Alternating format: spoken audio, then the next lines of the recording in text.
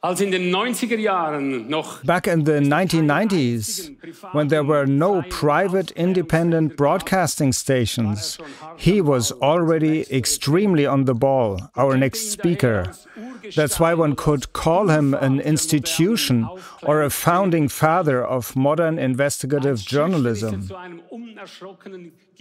He became an unflinching giant of truth, and his ability to connect the dots out of a general overview is simply breathtaking. At this point, we thank him for the privilege that he placed his own television studio in England at our disposal to answer our questions on most current topics. And I say, thank you, David Icke. We need you.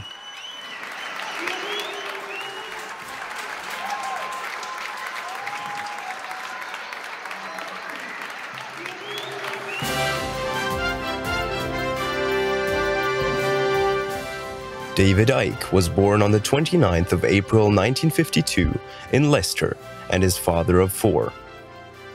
He was a professional footballer till age 21 and after that he became a sports reporter for several outlets and a presenter on the BBC's Newsnight and the sports show Grandstand. After a deep spiritual experience in 1990, he began publishing and expressing views and perspectives that were outside of the mainstream, which he was massively ridiculed and slandered for publicly. He has written over 20 books and bestsellers, among which are titles like Everything You Need to Know But Were Never Told and Human Race Get Off Your Knees. For the past decades, Icke has been a full-time investigative journalist, starting his own website, davidicke.com, his own streaming platform, Ickonic, and his own social network. He has been giving speeches and videocasts, sharing analysis and commentary, connecting the dots of world events and the forces behind them. In 1998, David issued a warning regarding the implementation of a global currency that would solely be electronic, the expansion of a global military to the east, and he predicted the plan to insert microchips into the population, making them controllable. In 2020, he was banned from YouTube, Facebook, and Twitter for sharing information and views that differed from the official narrative of corona politics. His videos at the time had more than 30 million views. In November 2022, he was banned from entering all 29 Schengen countries in an attempt to keep him from speaking at a peace rally in Amsterdam. Today, after 34 years, Icke is still as active as ever exposing conspiracies in media, politics, and all other areas of control. He has given speeches in 25 plus countries, and more than 900,000 people subscribe to his channels.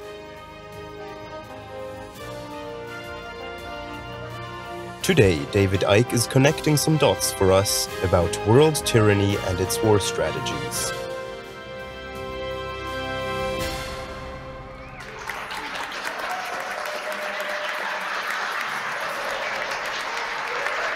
Whoa. Thank you. Great. Does everybody hear us? Wonderful. Awesome. Thank you, David Icke, for, for having us here in your studio for the 20th AZK. Yeah, no problem. Been really nice to have you. That's wonderful. Um, now, amongst many of your uh, series that you do is the dot connector series. What is that about? What's your what's your thought behind it? Dot connector. Um, if you look at the world as a series of random events, random happenings, it makes no sense. Why do they do that? What, what, why do they do it this way? Why don't they do it that way? It'd be much better if they did it that way, and so on and so forth. Why does this happen? Um, but when you connect the dots, you connect these events, you find that actually they do all connect. And, you know, people say sometimes about me, you see a conspiracy everywhere. No, I don't. I see one conspiracy to turn the world into a global dystopia. And that one conspiracy has endless facets and forms. Um, but um, it's actually one conspiracy, it's one gigantic web. And uh, that's uh, literally true in terms of what I call the global cult, right. which is a, a, global network of secret societies um, which are operating outside um, or in the shadows from those that appear to be running the world. That is that is interesting, and and we'll get into this deeper a bit in the next questions because I would love to do kind of this dot connecting style okay. in this interview that we look at different, uh, seemingly unrelated topics and and find out how they're connected.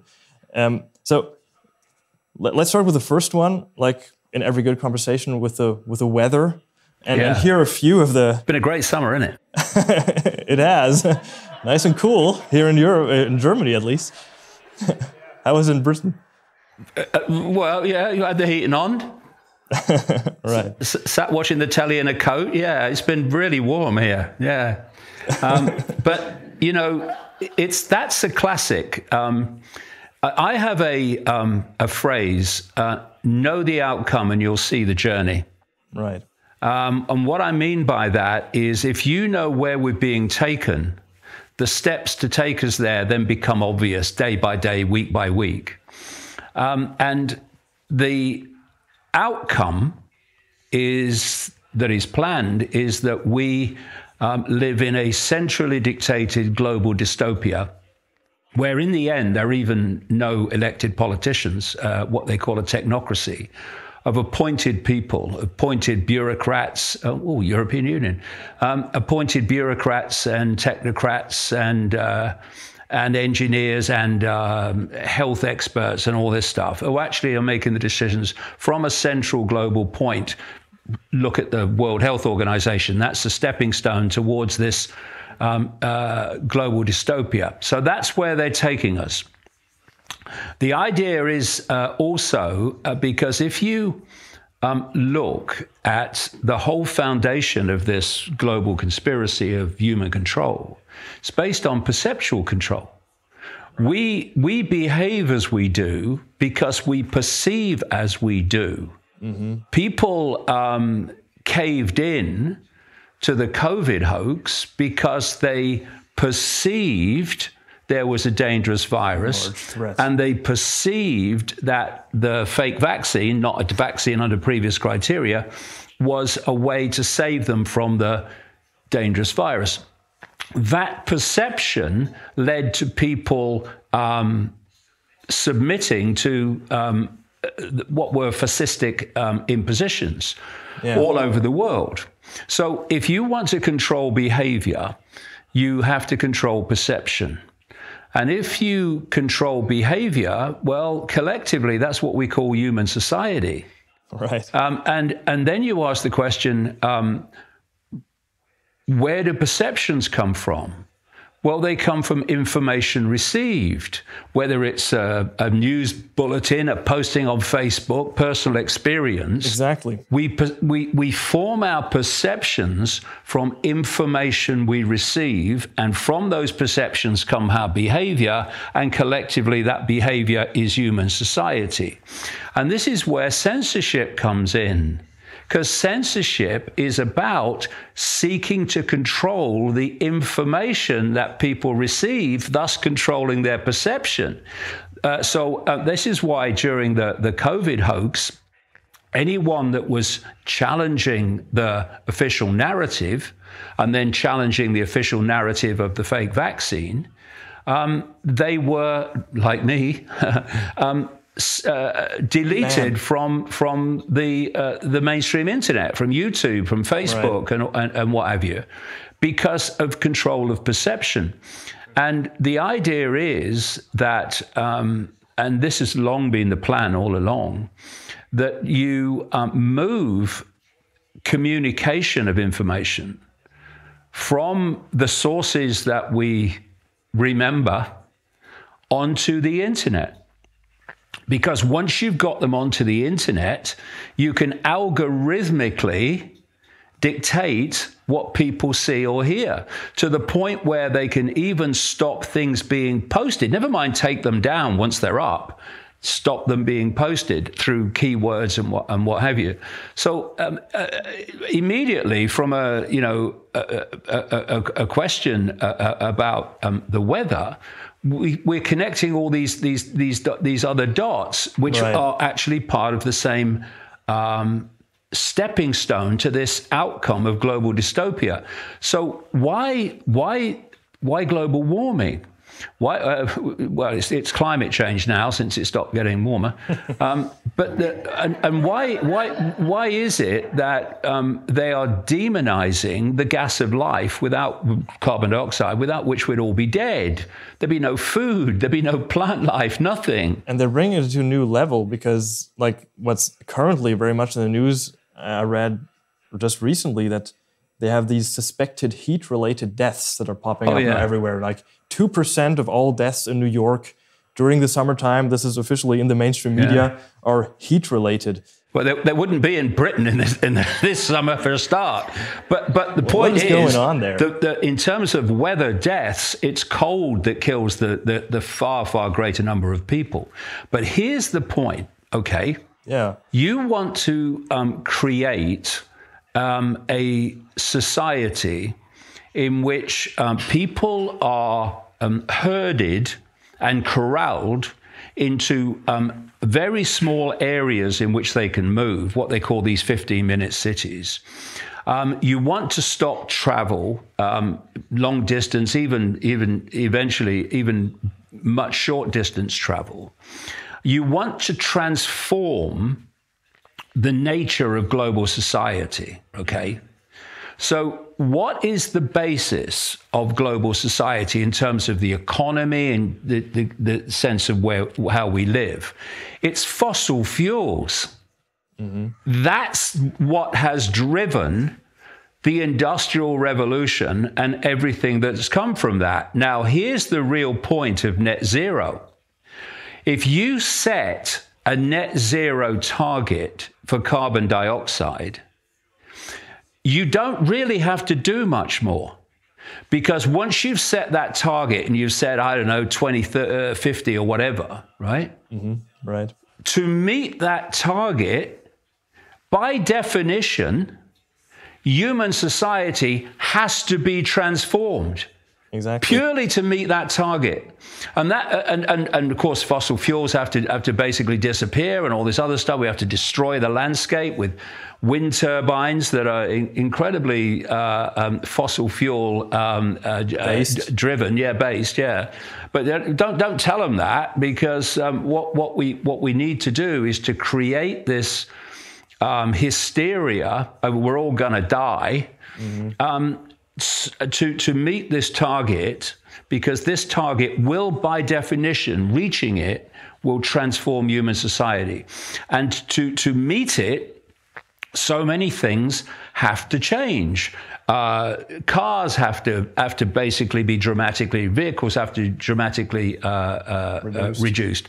Um, and, and and movement and travel have to be dramatically uh, reduced. Mm-hmm. Um, and of course, there's another agenda going on in the background that that of course they they know that it's all a nonsense, but in the public arena.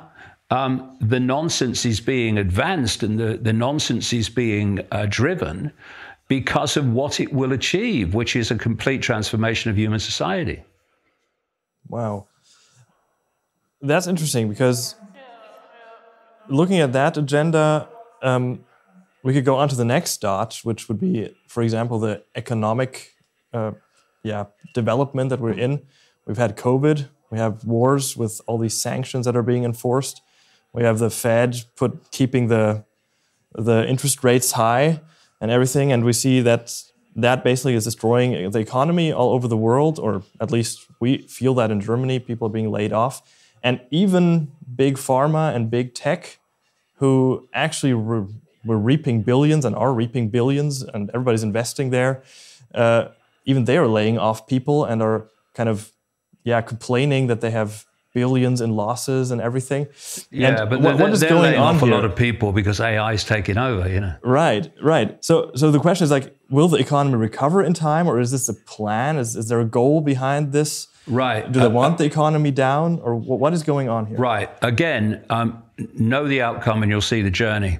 Yeah. The outcome is um, the population globally under um, a situation of dependency. Now, whatever you are dependent upon controls you.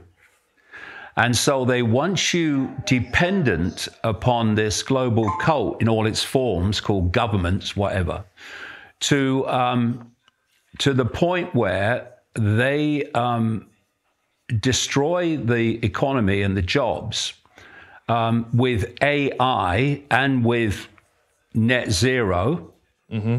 uh, because you know all these industrial um, uh, ways that we've we've lived in the in the industrial revolution period, um, they have to go um, because uh, you can't meet net zero otherwise. Yeah. Um, and so you you you you are um, erasing, not least through AI, you are erasing the ability to earn a living in the way that we've come to know it. And so the idea, because you know, I, I came up with a, a, phrase back in the 1990s: problem, reaction, solution. You, cre- that, yeah. you, you create the problem or or the illusion of one, like COVID, like uh, COVID and climate change, uh, human caused climate change. The climate's always changing. Um, and you want a, a, reaction from the public, which is something must be done, what you're going to do about it. And then those who've covertly created the problem or the illusion of it offer the solution to the problem they have created. So if you sell the illusion of human caused climate change, then you can offer the solution of transforming human society to save us from human caused climate change. This is how it works. And in terms of um, the economy, the idea is that um, they uh, make the jobs disappear, mm-hmm. um, not least through AI. And then they say, oh, well, we're really nice people. We have made your jobs disappear. We're lovely people, we are. So, what we're going to do is we're going to pay you a universal guaranteed income, a universal basic income. Every, every month, you're going to get a check from the government. It will be a pittance, mind, but you're going to get a check from the government. And that um, dependency on the government will come with strings. Because if you um, want to um, be a renegade against the government and the dystopia, well, you're not going to get you guaranteed basic income. So how else are you going to put food on the table? Because we've taken away all other means of doing it. And that's the idea. It's like um, it's like they throw the fishing line out and then they start to pull it in.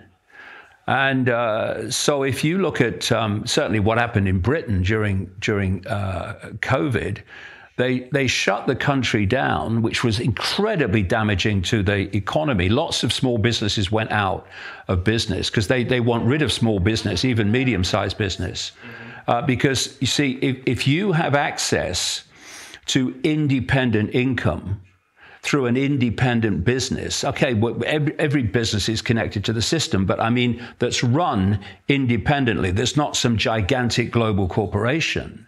Right. If you have access to an income from something like that, you are not dependent on the government. Exactly. But if they can get rid of all those independent jobs um, and make you dependent on the government for your ability to, to put food on the table in any form, then they control you. And what controls you um, is dependency.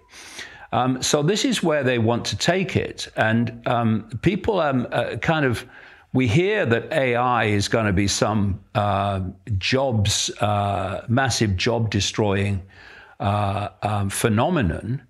But uh, even those people, I don't think, grasp just how many jobs are going. And the other thing, when we when we talk about connecting the dots, and we talk about dependency equals control. This is why they're destroying the food supply. This is why they're targeting the farmers. Right. This is why, certainly in this country now, with this ludicrous, insane uh, Labour government of Keir Starmer in this country, just got in, They want to cover vast tracts of farming land with solar farms and wind turbines. Um, you're um, you're seeing the targeting of farmers to places like like uh, the Netherlands and Germany. Uh, and, and and and who is the biggest owner of farmland in America? Bill Gates. Bill Gates, right? So and, and, and the Chinese are buying up great chunks of, of American farmland as well. So what they're basically doing is is um, controlling the production of food, and if you are dependent for your food supply upon sources you don't control. You are dependent on those sources and forces. And, and th- this, is, this is where it's going. It's about creating global dependency, thus global control.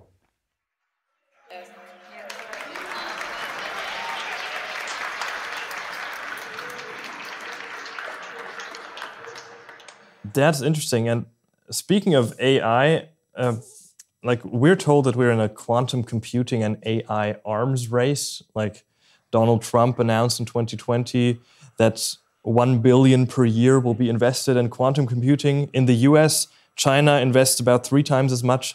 Elon Musk announced that he's investing 10 billion this year alone to build up the biggest supercomputer of the world in Memphis to train his AI Grok. And he's also training Tesla cars and robots to function autonomously. Google and other big tech companies are outdoing each other building supercomputers too. And obviously, they've been gathering and storing the data of billions of smartphones for years now. And the question now is are these countries really working against each other in an arms race? No way. Or are there connections between these players and are they actually working on a kind of a common goal? And if yes, what would that be? You're, you're absolutely right. Um, you see, this is this is the, the great um, the great con. Um, you have in politics, you have left v right, and then in um, in, in, in, the, in the background, they're all mates. I mean, some of them might disagree with each other genuinely, but a lot of them, the key people, they're all mates, really. You know, you notice when um, uh, Donald Trump won the 2016 election, and, and, and there was a chant every time he came on the stage, often, oh, jail Hillary, jail Hillary. And he would go along with it, jail Hillary, jail Hillary. And then uh, Hillary Clinton. It, it, yeah. Hillary Clinton. And immediately after uh, he won the election, he was asked if he was going to jail Hillary Clinton. And he said, "Oh no, she's she's she's lovely. We we should um, respect all the uh, the things that she's done for this country and all that stuff. It's it's all it's okay. it's, all, it's all crap. I mean, the, the, the Clintons um, when they were the, the de- Democratic uh, president in the White House and and and the Bushes who were the, the president either basically either side of him with um, with the two Bushes. Yeah. Um, they were mates. I mean, I've, I've, I've, not only mates. They were they were part of a criminal operation running drugs in America out of the Mena airstrip and other places in Arkansas when he was uh, when Clinton was governor for Arkansas. So the the, the, the, the, the what we're looking at in terms of politics, left and right, it's theater. It's vaudeville, right? Uh, but and that's to keep us believing in the political system and the fact that because we have a vote every four or five years, somehow we're in control of who, who runs the government. But the thing is that you, you have the, the left and the right and in this puppet show, and then you go one step back in the shadows, and the same hands are controlling both which is why um, no matter who's in power, the same left or right, the same agenda unfolds for humanity. Does, now, that, does that apply to like USA and China as well, like on the country level? Yeah, well, kind of? it's one of the things I've been saying over the over the decades. Um, this global cult has no borders. They are for um, population consumption only. That's to make you think that there are different countries uh, with different agendas. There's not. There's a global cult that works through all of them. So China is an interesting, an interesting point because um, what, what happened, I've written about this at length in some of the books. The Mao revolution was a global cult revolution. He was a global cult um, operative. And the reason for that revolution was to um, create a closed society, which it was for a very long time, it still is to a point, but not like it was, that um, through which you could incubate a, um, a structure, a system, not least in the end using artificial intelligence, um, of total human control. And once you'd perfected that and incubated it mm-hmm. within the Chinese arena, then you play it out across the world, right? So it's no coincidence that COVID came out of China in the official story. And what has happened since that happened is that the West has become more and more like China in terms of um, technological control and, and impositions. So um, I, have seen um, uh, documentaries in which um, someone was sent out onto the streets of a, a Chinese city. And the idea was for the um, AI system to find them. Mm-hmm. It took minutes. And what's also happening in China is, um, and this is because it's the incubator of the global system. Mm-hmm. As I've been saying for years and years, if you want to know what's going to what's planned for the West tomorrow, look at China today. Is um, you have this social credit system whereby um, you know they're they're basically under 24/7 surveillance. There's millions of cameras in every city, um, and, um, and what happens is if your behaviour suits the government, you basically you're compliant and you do what they say, you get the credits. And if you don't, you get them taken away. And eventually, you, are not um, able to um, function in mainstream society. You can't go on a train, you can't go on a plane. And this is the system they want to play out across um, the, the world. And this is where the, um, the digital currencies come in and why they want a digital economy mm-hmm. is because once they have that, um, they can do what they do in China, which is if you, for instance, go jaywalking in China, cross the road when you shouldn't, even though there's no cars coming, um, then um, you can be fined before you get home. It's taken out of your bank account through the through the digital system, and this is the this is the plan. You know, you know these. Um, um, these cameras that are going up all over the cities. I mean, in London, London yeah. oh, in London, we've got this this um, scam called ULEZ, Ultra Low Emission Zone, um, and they've got all these cameras in. It's twelve pounds fifty um, if you've got the wrong type of vehicle. Just driving off your own um, uh, drive or outside your own house, you go past a camera immediately. It's twelve pound fifty if uh, a day if you've not got the right kind of vehicle. And those cameras, which are everywhere, um, are not there to police ULEZ. That's that's the that's the the foot in the door. Right. They are the number plate cameras to um, police the 15-minute cities and the um, the no-go zones that people are, are, are planned to live in to save us from climate change. Um, so all these things, um, all these things connect, and uh, the, you know, I said in 2008 when you had the um, the banking crash, mm-hmm. the the next one that's planned, you will hear on Mars, um, hmm. uh, be, because they, that big. Well, here's the situation: mm-hmm. problem, reaction, solution. Mm-hmm. While while the status quo is going along okay um, if it's not broke, don't mend it. Um, people, if you come along and say, we want to bring this in, we want to bring that in, they'll, they'll, they'll go, well, no, look, everything's fine. We don't we need that, right? But if you crash the status quo, whatever it is, then you've got a problem. You've got a, a, a point of transition because the status quo is gone, it's in disarray. This is what a financial crash does. Mm-hmm. And then you go, well, w- w- do something. What are we going to do? And, and that's when they come forward with a solution. And the solution is a transformation of the financial system into a digital control system. And this is what, what they're doing all the time. They are manufacturing problems. Um, and then offering the solutions to the problems they have themselves created. This is happening all the time. And a lot of these problems are actually not problems at all. Um, I mean, we talk about um, human caused uh, uh, global warming, it's, it's, a nonsense, it's scientific nonsense. You, you look at weapons of mass destruction in Iraq that justified that catastrophic invasion of Iraq. There were none. But the perception was that there were because it was repeated all the time, not least through the media.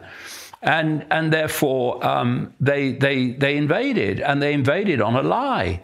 And, and then they go oh well there were no uh, weapons of mass destruction. But by then the deed is done. The catastrophe is underway and it's led to so many other things that have gone on in the in the in the Middle East. And and so when people tell you when when official sources tell you that um, there's a problem and this is why there's a problem. Well, the, the thing to start off from is you're lying to me. Because if you look through history, that's the common theme. Authority lies. It's what it does, it's what it's there for. Therefore, if you, authority, are telling me this is what the situation is, First of all, I'm going to take it immediately that you're lying to me. My next question is, why are you lying to me? And, and, and, and you will know the answer to that by seeing what they say is the solution to what they're lying to you about. Uh, and, and, you know, you will find sometimes when you research this that, uh, well, okay, authority is telling the truth here or telling the truth there, but overwhelmingly it will be lying to you. And, uh, and that's, that's the place to start. So when they told me there was a deadly virus, um, my immediate reaction was, You're lying to me. So therefore, um, what's the solution? And I thought, the solution, you're going to come along with a bloody vaccine as the solution to what you're telling me this, this is going on. And, and that's how it turned out, of course. And, and so, you know, to, to start off with um, the perception that authority is lying to you is a very good place to start. Uh, it stops you getting scammed. Does anybody start off with that perception? I think a few people do. Yeah. well, it's amazing how history confirms it. Right. And and speaking of, I mean, you you addressed this whole left-right uh, perception uh, game going on. Uh, speaking of that, I like this quote by, by one of the former US presidents, Franklin D. Roosevelt, who brought the US into World War II. Yeah. He said, uh, In politics, nothing happens by accident. If it happens, you can bet it was planned that way.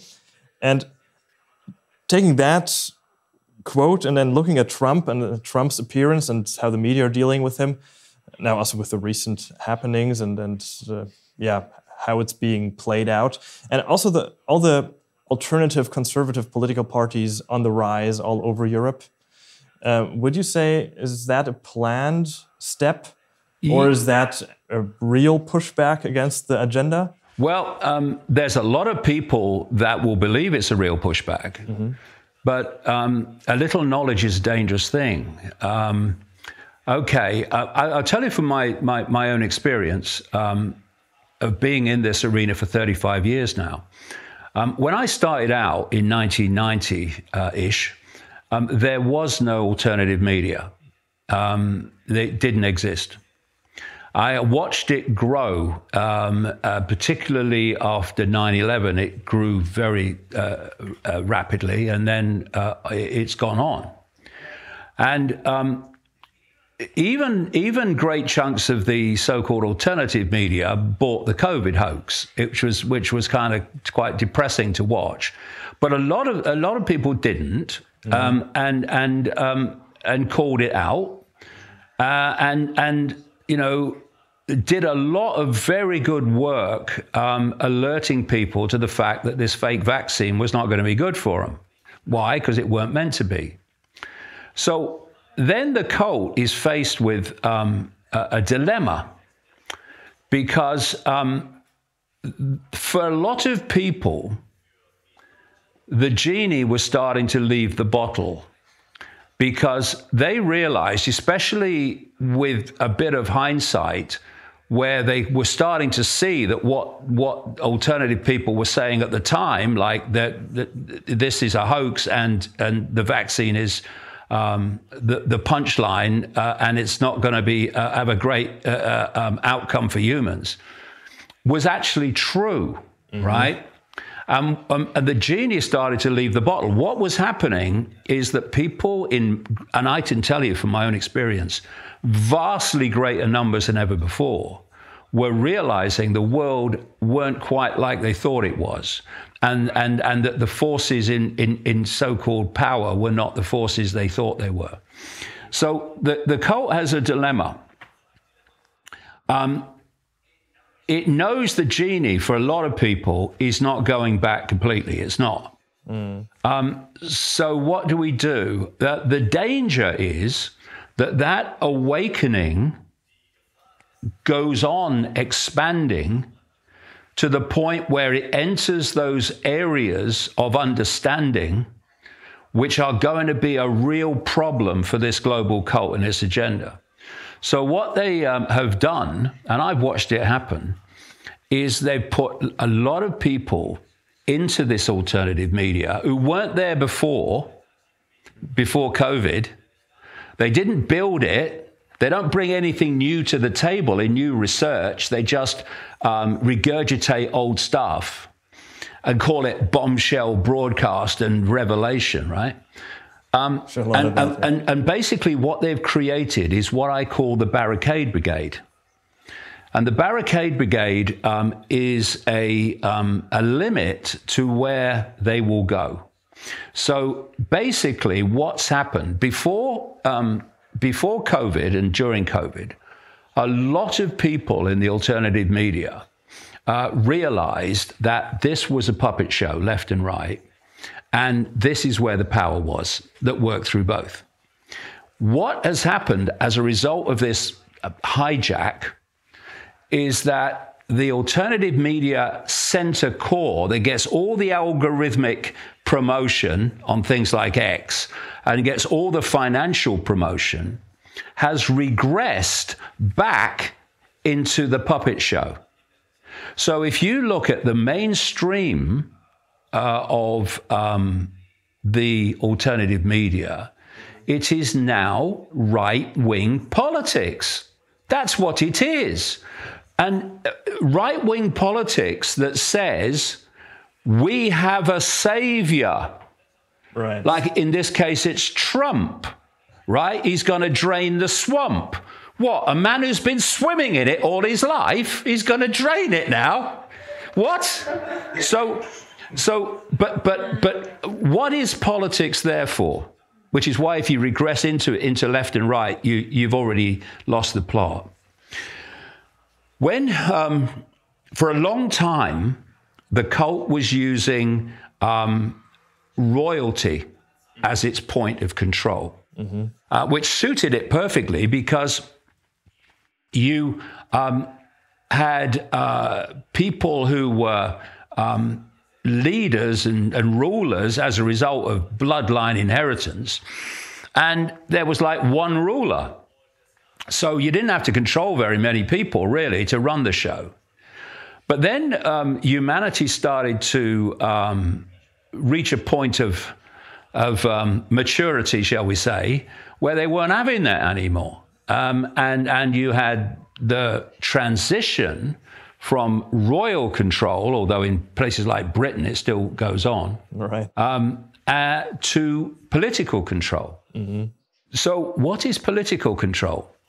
Um, if you look at any political party, um, it's a pyramid. You've got the few at the top who run the show and dictate the pyramid. Then you've got all the members of the party going down, the MPs and, and right down into the activists, who are at different levels of the pyramid.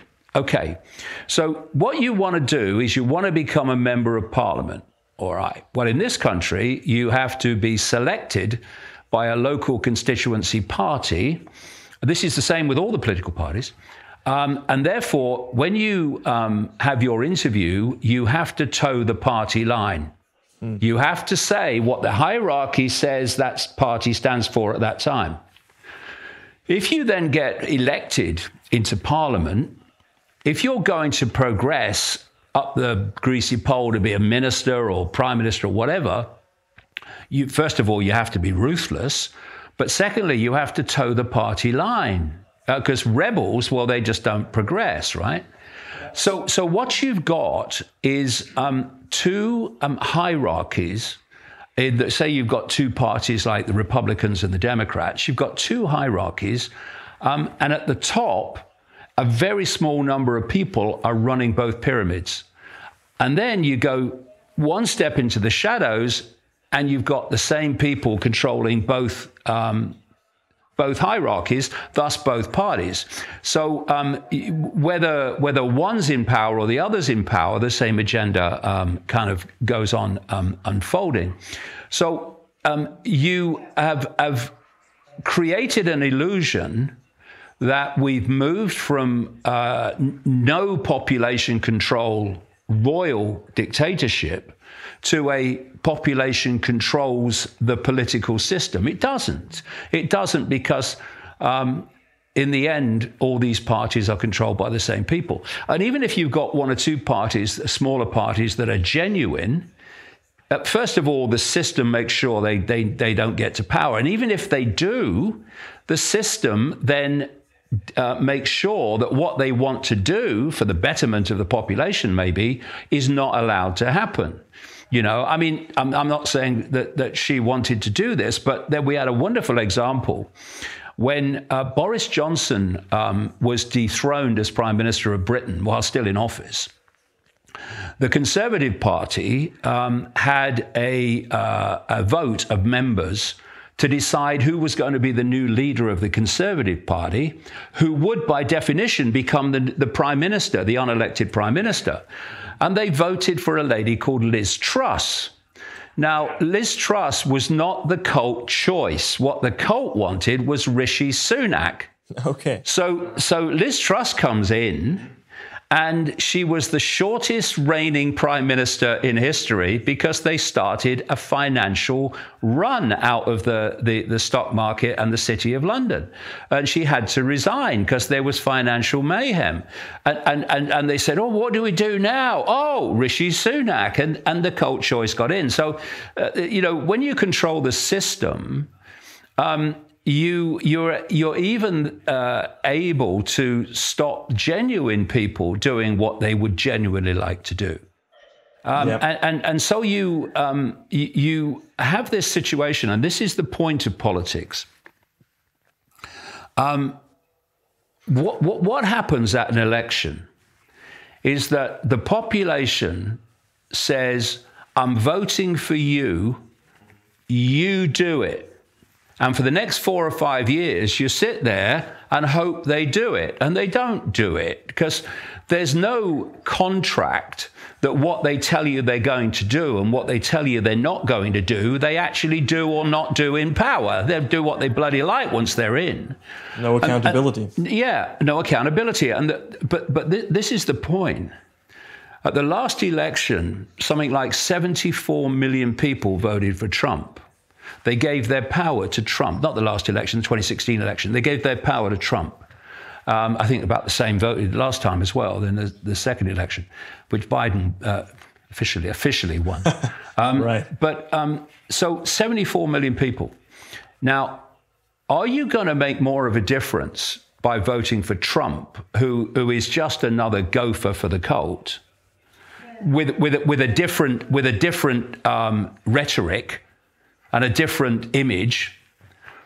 Or are you going to change um, society by 74 million people taking their power back, not giving it away, taking it back and saying, we're not cooperating with anything that is taking our freedom away and is to the detriment of our lives and our kids' lives and our kids' futures. We're not going to do it. We're not going to do it. And, and so. Would that be a solution? Well, you have yeah, a situation, definitely. right? Let's just break this down. And, and right. because people say, what can you do? Well, let, let's just have a look at this. It's pure mathematics. They tell us there's 8 billion people in the world, right? Right. The number of people in full knowledge of what they're doing in terms of creating this global dystopia is a tiny, tiny fraction of the 8 billion. 8 billion cannot be controlled by those people without the cooperation of the 8 billion, without the acquiescence of the 8 billion. They can't be done. So, what, what they do is they create political uh, parties so that people can fight over uh, in the puppet show. Um, they uh, create uh, different uh, belief systems that can fight with each other for. Um, for uh, the, the uh, you know having having uh, the the power over the other, um, and and they can divide and rule us. So we're fighting each other while not looking up and seeing the same hand is controlling the strings of, of all these different factions. And and it, it, you know if we if we just said, look you may believe something different to me. What's the problem? The, the problem only arises if you try to impose what you believe on me and I try to impose what I believe on you. That's the only time the problem um, occurs. Because otherwise, otherwise we can say, well, I don't agree with you on that and you don't agree with me on this. But let's have a beer. It's not a problem, you know, and, and we'll, we'll discuss it. Maybe you'll persuade me, maybe I'll persuade you, but it ain't a problem. There's nothing to fight over. And, and, and, but, but because belief systems tend to want to dominate, mm-hmm. um, they, they are seeking to, to, to impose their belief on other people. And that's when you have the problem. That's where you have the divide and rule. Um, you know, you can you can watch a football match and you could li- you could really like one of the teams to win, right?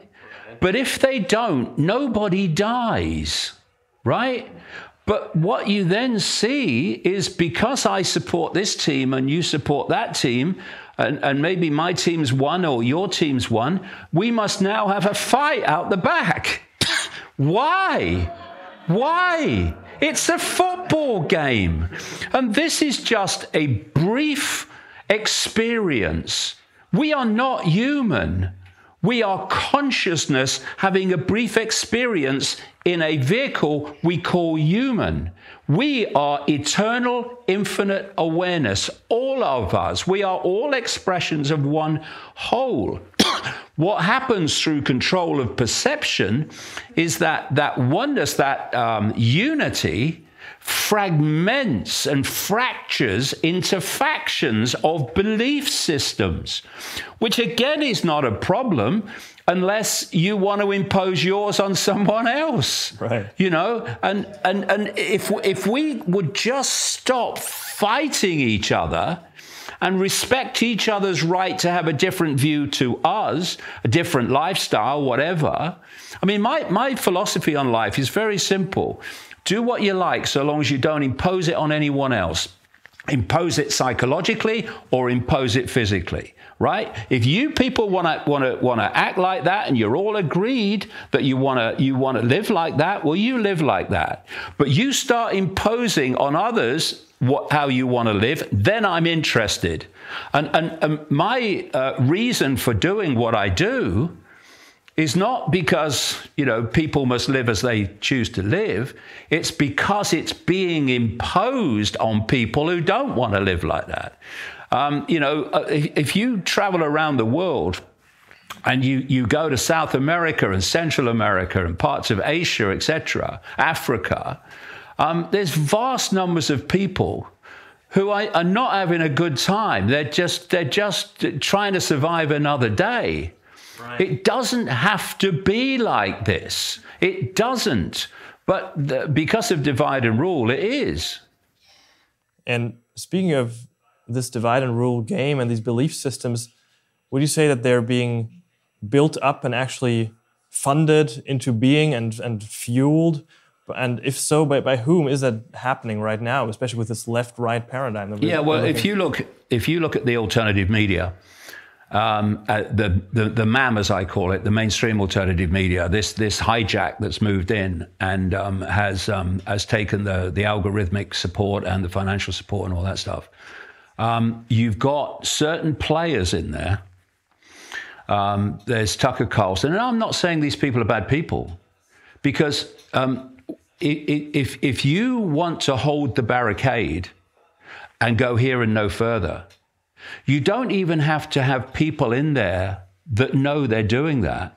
You just have to have people in there, which you massively promote, whose belief system and perception of the world is that. That politics is where it's at, that politics is the answer, and you put Trump in and things change and all that stuff. You don't have to have um, agents in there. There are some. Don't don't let's kid ourselves on that. But overwhelmingly, you don't need to. You just put people in with a certain belief system, and you promote the hell out of them and, and, and they'll hold the line. They'll hold the line because they don't think there's anything beyond the line. Right. Um, and and this is what this is what's happened. And if you look at um, the um, first of all the, the, the major names, I'm talking uh, Joe Rogan. I'm talking. Um, uh, Russell Brand, I'm talking, well, I mean, Alex Jones has even been pulled into it. He, he was, you know, f- from the old alternative media, but he's been pulled into it as well.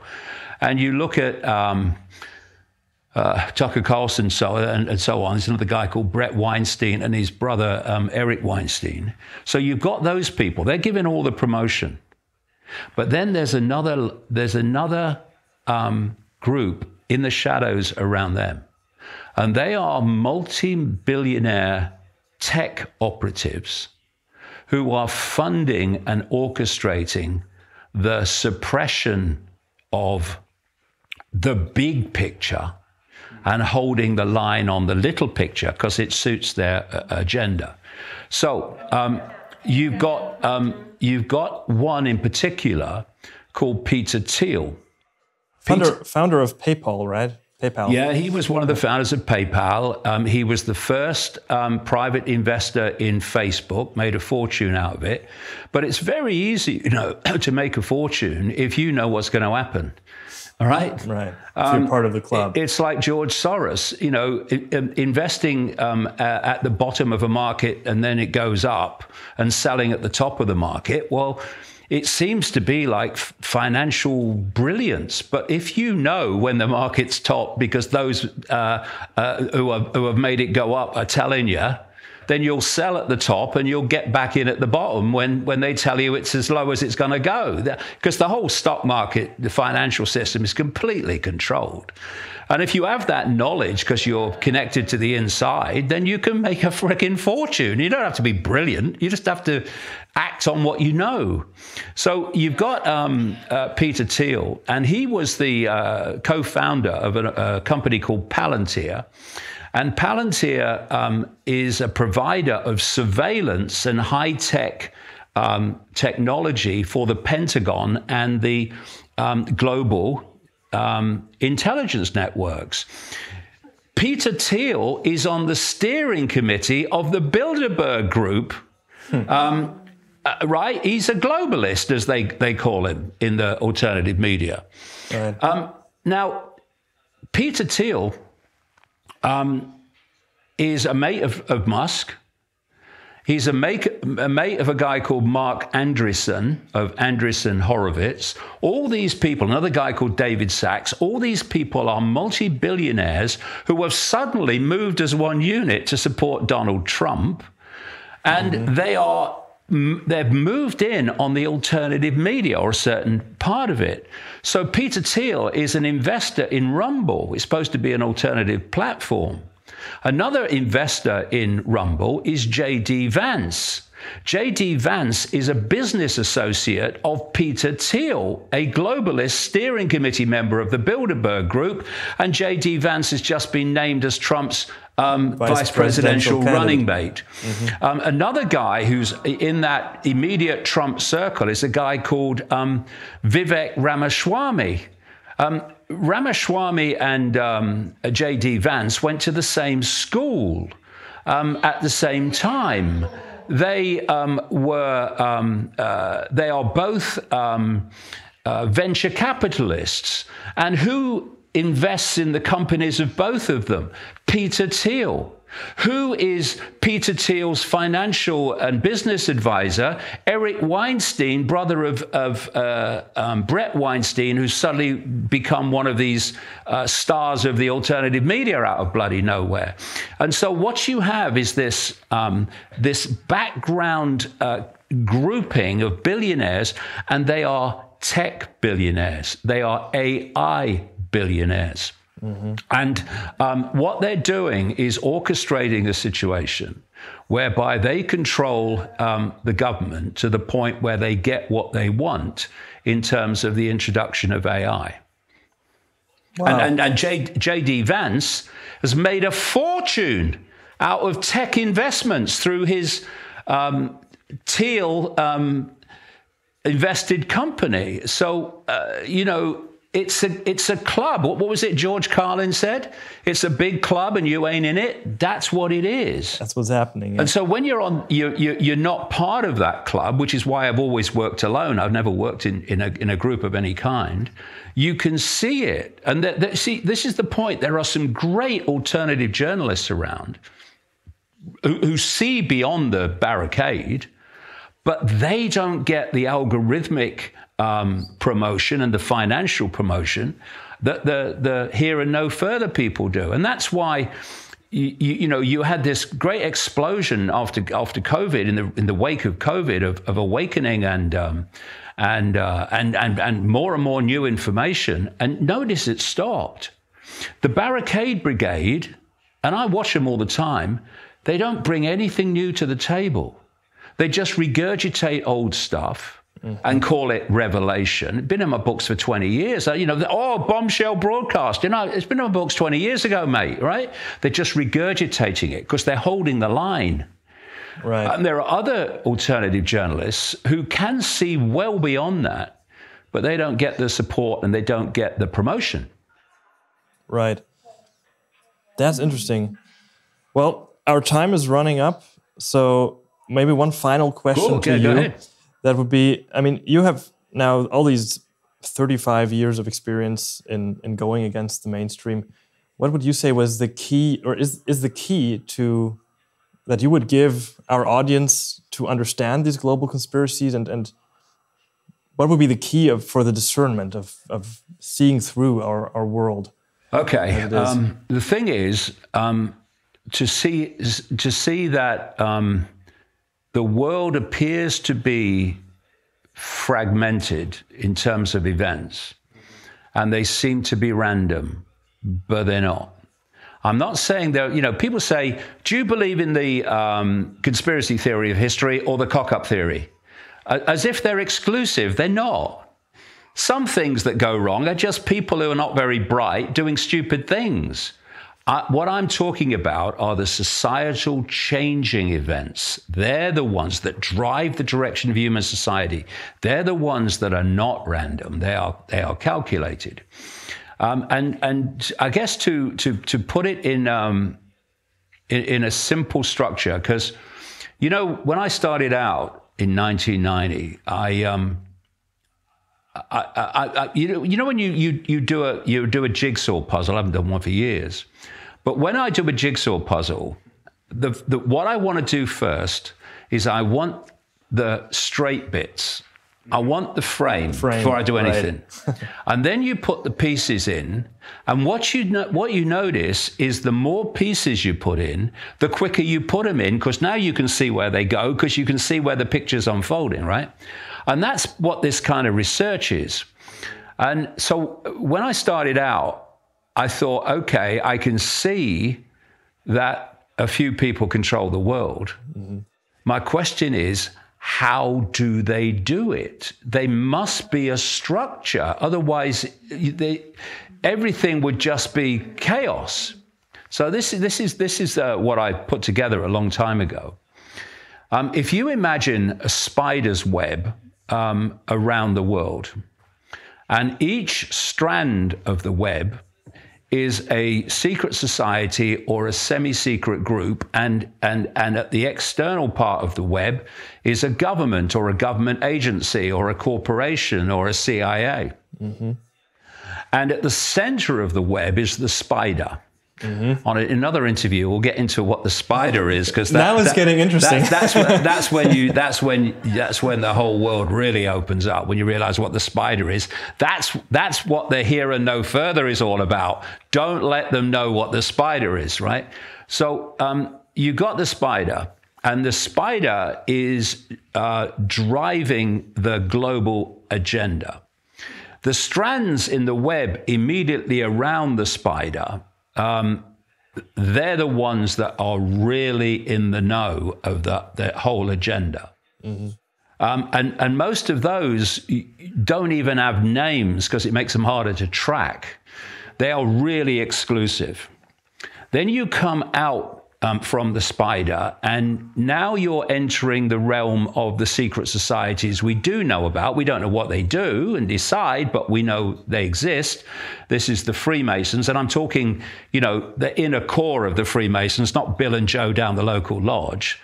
Um, I'm talking the Knights of Malta, the Knights Templar, the Opus Dei, the um, uh, uh, the inner core of the Jesuit order, etc. Um, and and that that's still in the hidden. Mm-hmm. And they're f- eh, all these organizations are fiercely compartmentalized. So only a few at the top in any of these organizations know what the real agenda is. The rest are um, uh, suppressed in terms of their knowledge, depending on how low they are in the pyramid. It's called degrees of knowledge, basically. And then as you come out, still in the hidden, you hit what I call the cusp. Mm-hmm.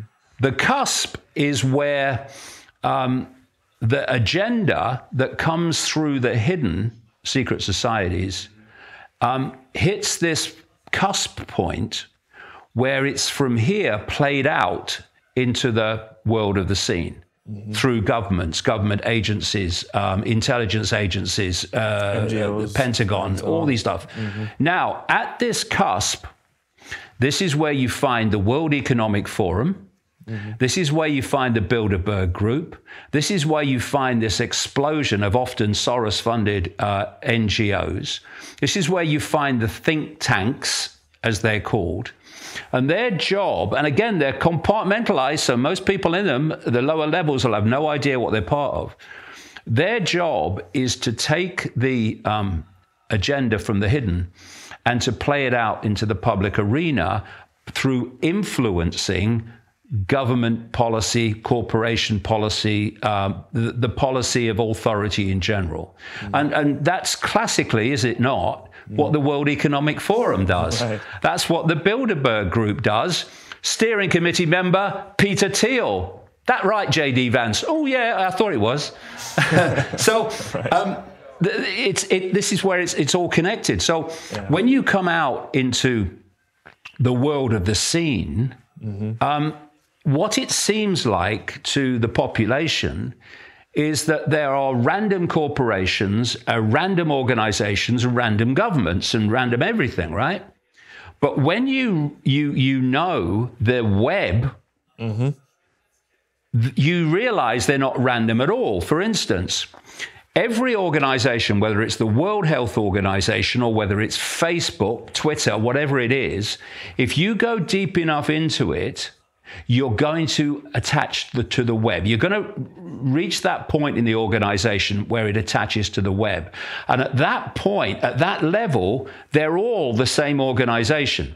Hmm. So, um, the World Health Organization um, says uh, this is what you must believe about COVID, right? Mm-hmm. Immediately, and, and if you don't know about the web, then it's kind of bewildering. The Silicon Valley corporations like Facebook and YouTube say, we're going to censor anyone who is at odds with the World Health Organization version of COVID. And you think, mm-hmm. But you're supposed to be the public square. You're supposed to be the, the you know, right. where, where debate and opinion is exchanged. Mm-hmm. But they didn't. They said, mm-hmm. we're going to censor anything that, that is at odds with the World Health Organization version of COVID. Why is that? Because at a deep enough level of the World Health Organization, which is basically run by Gates, uh, who is a gopher for the Rockefellers, and the Rockefellers were the creators of the World Health Organization in 1948. Um, and and the, uh, um, the, the, the, the cult level, the, the web level of Facebook, they're the same organization. So they are censoring on behalf of the web um, the agenda uh, or, or, or, protecting the agenda being um, uh, circulated by the World Health Organization.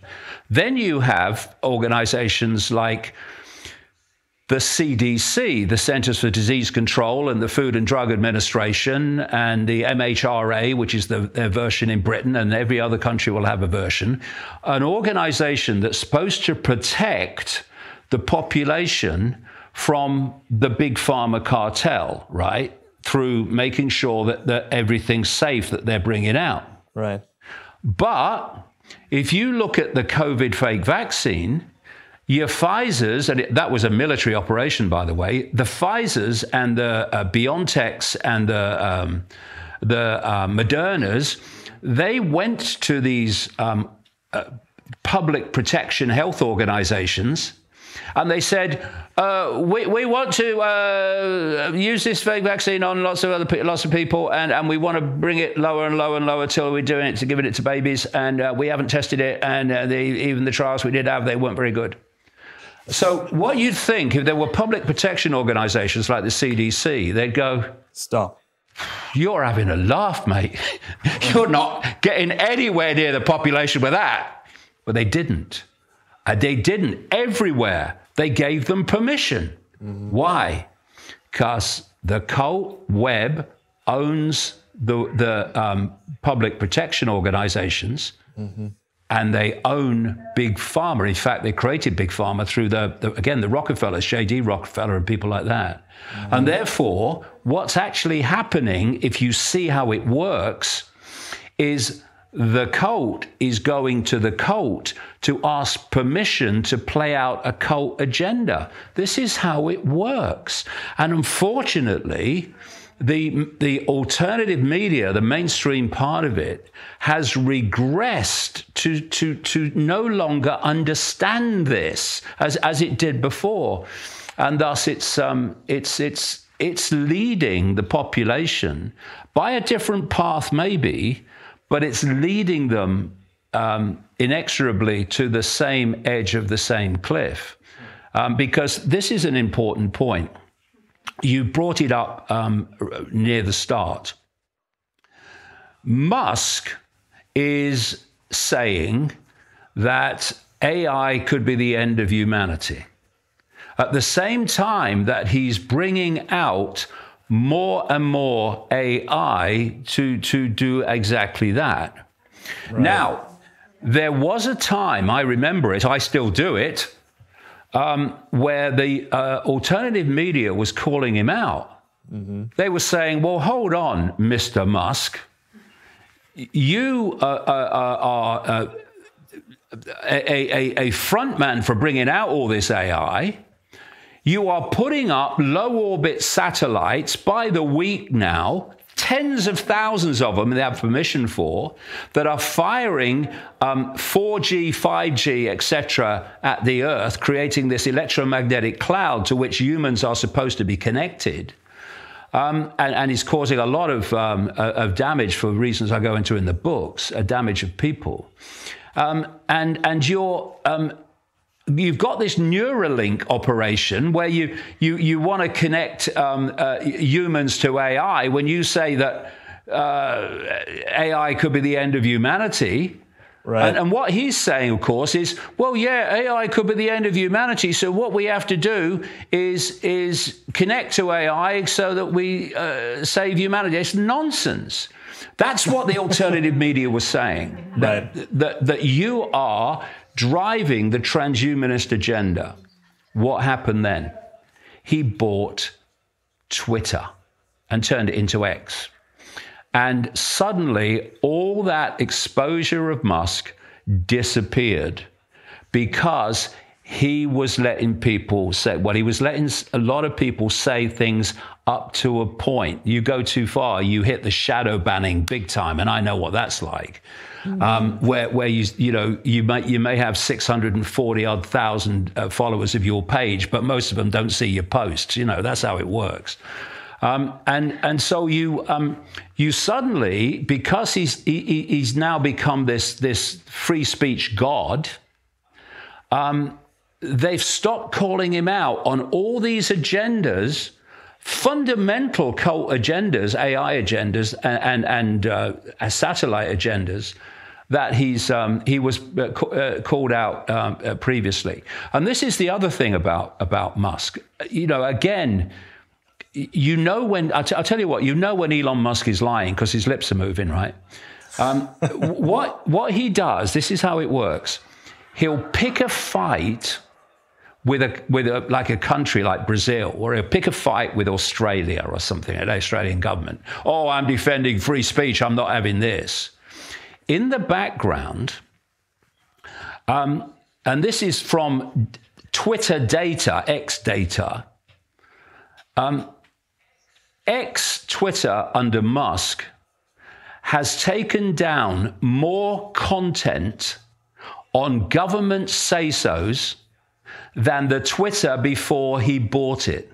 Really? In the six months to March of this year, Musk took down 40,000 pieces of content globally on the say so of the European Union. But what he does, he picks public fights and it hides what he's doing as a matter of course in the background.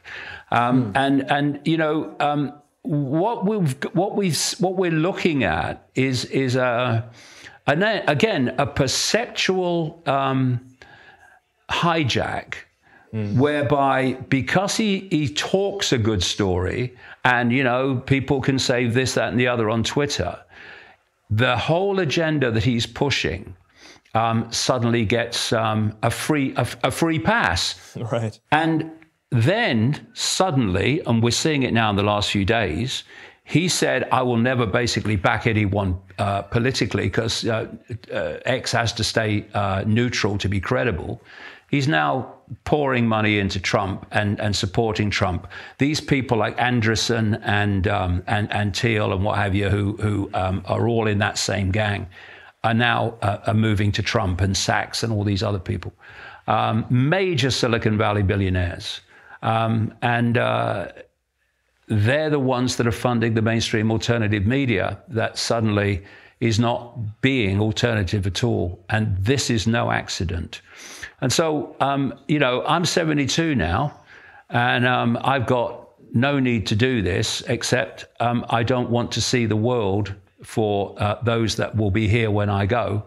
Um, that these people want to leave them with and give them. And uh, I'll, I'll, I'll, no matter what abuse I get from the mainstream alternative media and their followers, um, I will go on calling them out because it's so important that we realize that um, beyond beyond the political.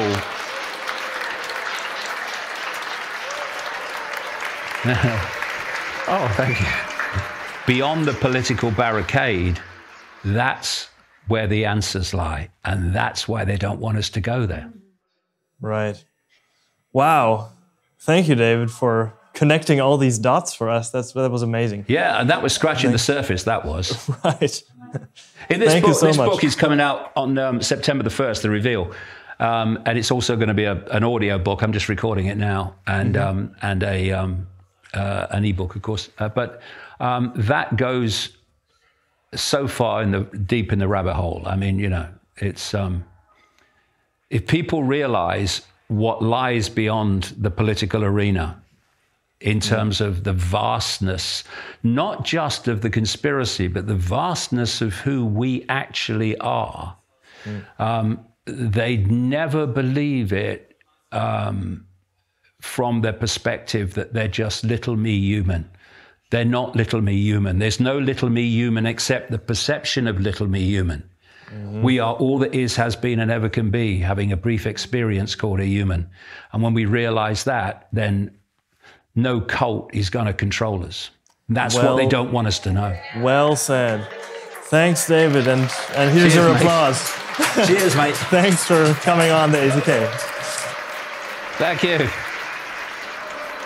Thank you very much.